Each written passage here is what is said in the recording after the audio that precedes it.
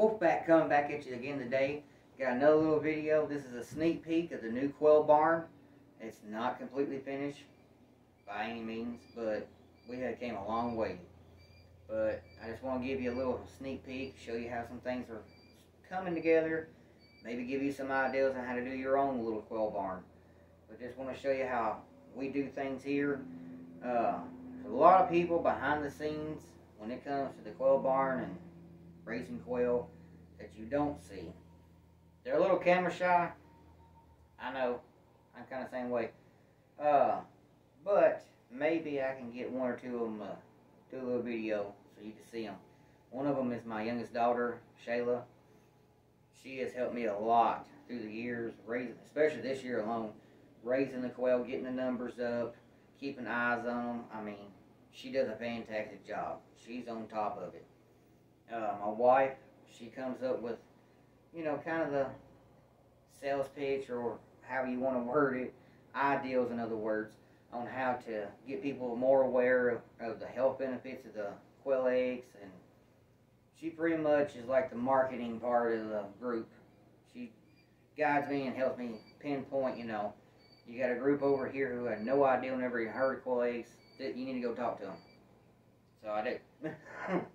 Even though I'm not a people person, I try my best to educate people on the benefits of quail eggs. The meat alone, to me, is a lot better than chicken or anything else. You can produce it faster. Weight, you can produce it not only faster, but you can produce it for half or even a small portion of the cost of what it would take to do chickens. Yes, the bird. Now I raise jumbo. That's all I do is jumbo. I don't do standard or any any colors or nothing like that. I just do my jumbo browns. That's all I mess with. Because I'm in it for myself to supply meat and eggs. I'm also in it to help others, you know, learn on their way, you know, hey, this is how you can do your own meat and eggs. It's doesn't cost much, it's simple, it's easy, anybody can do it. You know, this is how we do it. You know, for example, I'll show you how we do our little setup right now. It's not finished, but just remember, it's a work in progress. It takes a long time to work itself up. But the main thing is, is helping people along the way produce their own meat and eggs. Get the health benefits from the eggs, the health benefit from the meat, and then they can learn, you know, hey, I can do this in my garage. Exactly. It doesn't take that much space. It really doesn't. And if you're just doing it for your family or your friends, because that's basically who I do it for, it doesn't take much room at all. And feed is not that expensive if you only got like a hundred quail. It doesn't cost that much to do that much. I mean, to feed that much quail, it really doesn't. Uh, you got a hundred quail. I say you might go through two bags, two 50 pound bags of feed a month. That's it. You ain't gonna go through that much. And you're looking at, see, okay, let me word this right because I don't, I don't want to confuse nobody. I don't want to get it wrong. If you got a hundred quail that's already went from, you know, baby stage to junior stage and to now adults, they're lame. Okay, I switched to a layer mash, a layer crumble. I'm sorry, I worded that wrong. Layer crumble is what I switched to, because at that point they don't need that much protein. They need uh, calcium, a little bit more protein, a little bit protein, but not as much as they did when they was chicks. So I pay like fourteen dollars for a fifty pound bag of feed. So fourteen times two. That's all I pay for a month for just a hundred quail. Okay, now I'm trying to get my numbers up, so of course my feed's gonna go up a little bit. But if you're just the average person who's just doing it for yourself, your friends, your family. A hundred quail is all you're going to need. And two 50 pound bags of feed, you know, layer crumble, a month. That's it. You don't need nothing else. And what? That's under $50 for the whole month. For a hundred quail. You tell me if you can do that, a hundred chickens, if you're only going to spend two 50 pound bags of feed for the month for a hundred chickens. I don't think that's going to work out very well. I really don't. But with the jumbo quail, it works perfect. But I'll show you this little setup. I don't want to keep rambling on and y'all listening, but I, I know y'all want to see it. I'm kind of excited. I hope y'all are. But I'll show you what we do got done right now, and hopefully give you some ideas, and I'll explain to you how I do my eggs. And I got incubators scattered a little bit everywhere right now because later on, beginning of this year, me and my brother, he's good. He's like if you watch My Shire Farms and you see uh, Papa on there, my brother is like Papa. It comes to building something or making something, I go to my brother. He is real good at that part. Uh, he makes some of the brooder boxes you're fixing to see. He makes those, and he does a fantastic job for what I need. He does it. Uh, if it's metal, I can help you out. If it's wood, I go to my brother. He's a lot more superior on that than I am. But uh, I'll show you the setup real quick, see what y'all think, give you some ideas, and then of course as we finish everything, get it actually set up the way we want it, I'll show you another video and leave a comment. Let me know what else you want to see, because you know I, I'm working a full time job. I'm doing this and trying to finish a house and everything else. So you know I forget. so hell, if y'all want to see see something else or know something else, leave a comment and I'll try to get back to you. Uh, but if you don't leave a comment, I will forget. So leave a comment. Let me know what else you want to see. But let's get to it. Okay, you got the small refrigerator that I store the eggs in for customers who wants eggs to eat. You got a brooder box over there, food, incubator, incubator, another incubator. That one is running right now. There's a little over 100 eggs inside there right now. This is the uh, other brooder box that I have. It's a lot bigger. It's a TSC metal container that they use for watering calves. My brother, he actually designed this. He done a good job at it. He built the uh, doors on it. So, and what I love about it, if you can see, right in there is a divider. Now that divider, scoot that back. That divider goes at the top, but at the very bottom, as you can see right there, there's about like a four inch gap there. What that's for, and I mean, he came up with the idea and it, it worked perfect. Say they get too hot over here. They can walk under there and cool right off. They get cold, walk right back under it, heat back up. We keep the food and the water next to the heat lamp when they're chicks so that, you know, the food and water stays warm because you don't want to give your quail cold water. That is a very bad idea. No. But you might get by with that baby chickens, but not quail. Uh, but that's the setup right there. Food, water's right here, heat lamp. They get too hot, walk right over there, cool off, come back. And as big as this is, it holds a hundred, no problem. A hundred baby chicks. You word that right. Not a hundred quail, a hundred baby quail chicks. And then this incubator here. Now these are cheap, you know, knockoff Chinese incubators.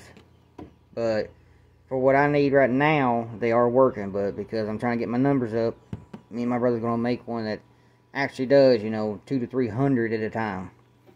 But we kind of modified this one. And you got your temperature, humidity, and all that stuff. But what we did to modify this is the egg turner that comes in here.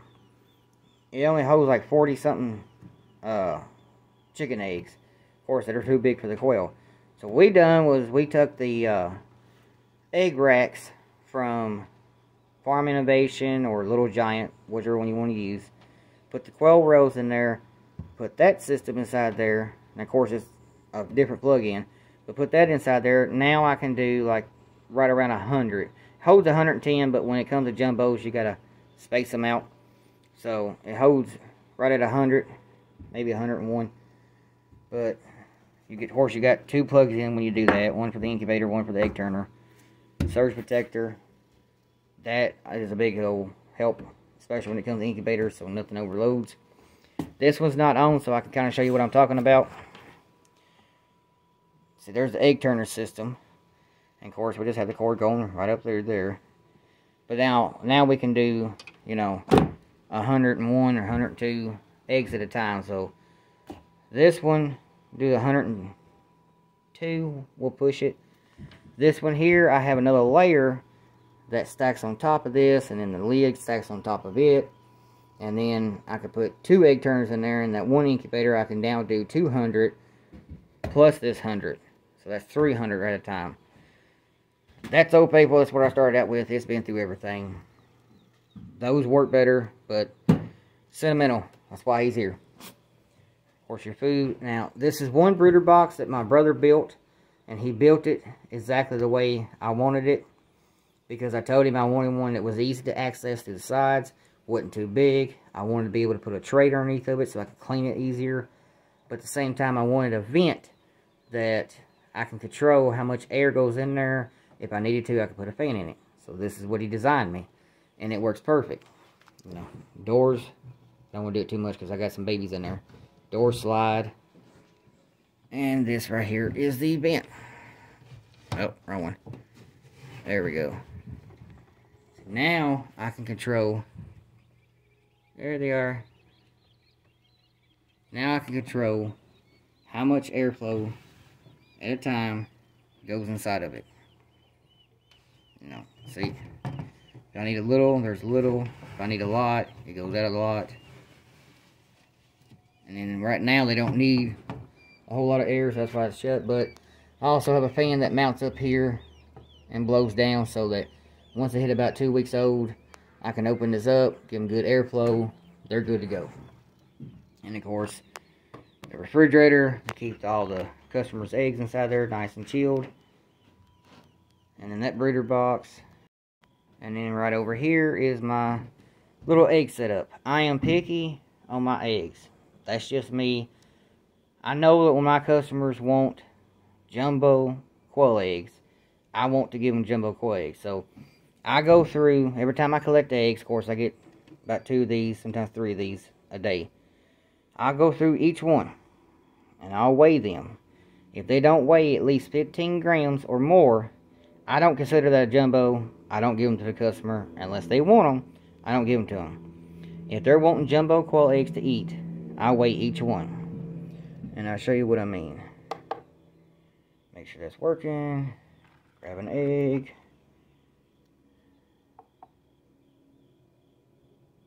Right there is 15 grams. That's what I consider a jumbo egg. That's what the customer's getting. Now what's left inside here, I don't consider them, eh, by my standards, jumbo. Like this is one I don't consider jumbo. Put it on there. 12 grams. I'm not going to sell that to a customer that's wanting jumbo quail eggs to eat. They're not getting that. Now, if they ask for it, I'll give it to them. But, no. I'll save it and use it for incubation. Because the egg size does not determine how big that quail gets. So, I can just turn around, throw it in the incubator. I'm still good. But, package them up, put my labels on there. In the refrigerator they go. If they're a first time customer, then I'll go up here. I'll get a pair of quail egg scissors and I'll give it to them for a first time customer. I'll give them a free pair of quail egg scissors so that they can open these eggs up easy. And then, of course, they get to keep them. Anytime they want more, they already got them.